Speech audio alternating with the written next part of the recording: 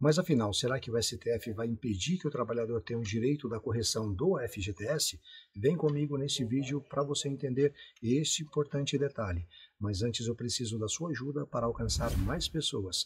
E você pode me ajudar ao se inscrever aqui neste canal, caso ainda não esteja inscrito.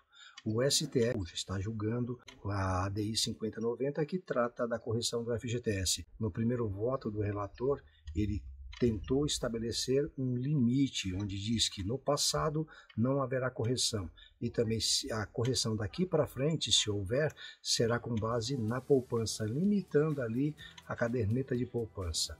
Você acha que é razoável ter um dinheiro que é seu, que é um patrimônio do trabalhador, depositado numa caderneta de poupança, tendo a remuneração de uma caderneta de poupança que na atualidade está em torno de 6% ao ano, enquanto isso a Caixa Econômica Federal utiliza esse recurso para financiar a construção civil, utiliza esse recurso para o governo aplicar em infraestrutura, ou seja, o trabalhador está financiando o sistema habitacional, está financiando as ações para implementar a infraestrutura no nosso país e o governo agora quer impedir através da Caixa Econômica Federal e também da influência que ele tem no STF para que o trabalhador não tenha correção, parece não ser razoável entender isso como sendo justo.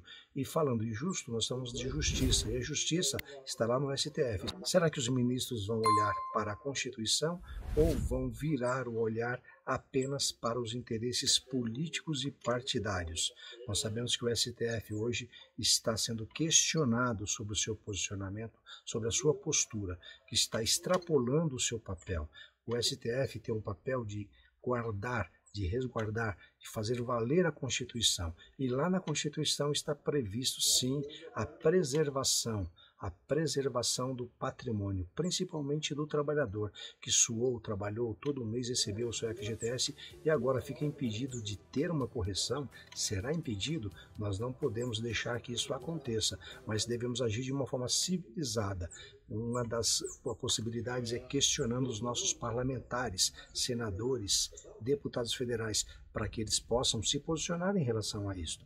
O STF não pode dar um sentido diferente para a lei que foi criada pelos legisladores. Nesse sentido, então, nós temos aqui a hashtag FGTS sem limite para a gente propagar e trazer aí uma adesão a esta causa do trabalhador.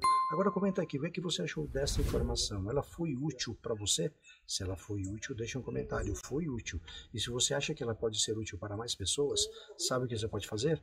Pode compartilhar com todo mundo que você conhece, aqueles seus amigos e familiares que você tem lá naqueles grupos do WhatsApp e do Facebook. Vamos espalhar essa informação como forma de promover um bom e saudável debate ao levar informações de utilidade pública. Não esqueça de dar um gostei nesse vídeo e acionar o sininho, pois toda vez que nós postamos um novo conteúdo, você ficará sabendo. E eu continuarei aqui gravando mais conteúdos para poder te encontrar no próximo vídeo.